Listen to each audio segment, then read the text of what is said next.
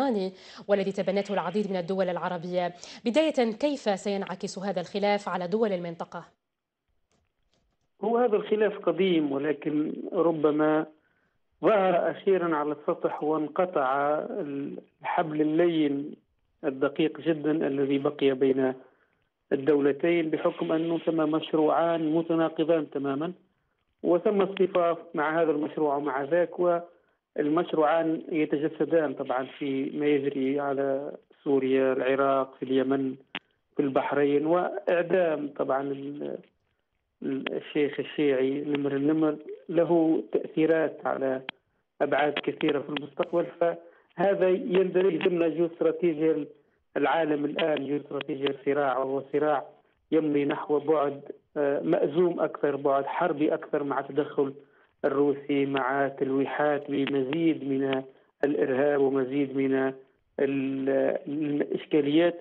فاعتقد أن الانعكاس سيكون مباشرا وانه المشروع الذي تبناه السعودية للأسف آه، أدى إلى دمار كبير جدا في آه، في سوريا وأدى إلى مشاكل كثيرة. ربما كان باب أولى مراجعة هذه الاستراتيجيات الآن المعركه في اليمن.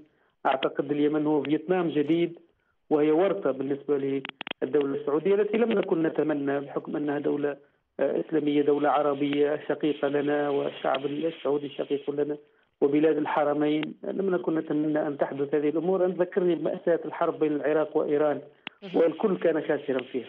طيب أستاذ مازن شريف هل تعتقد بأنه بعد ما عادت إيران إلى الساحة الدولية مؤخرا هذا التصعيد السعودي الإيراني والذي تتبناه العديد من الدول العربية سينعكس وستكون إيران في معزل عن الجميع من خاصة القضايا الدولية الراهنة؟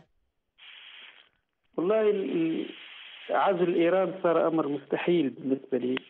إمكانيات الدول التي تكون ضدها بحكم أنه الاتفاق النووي الإيراني أعطى مجالات أكبر لإيران وبحكم أنه العالم الآن يحتاج إلى مخرج من باب الثروات والتعامل الاقتصادي ومن باب أيضا الخروج من ورطة داعش ولدى إيران دور في هذا في هذا الأمر. ولكن أعتقد أن الأمور تزداد صعوبة على منطقتنا العربية تحديدا التي تزداد تمزقا وتهددها المخاطر من كل جانب.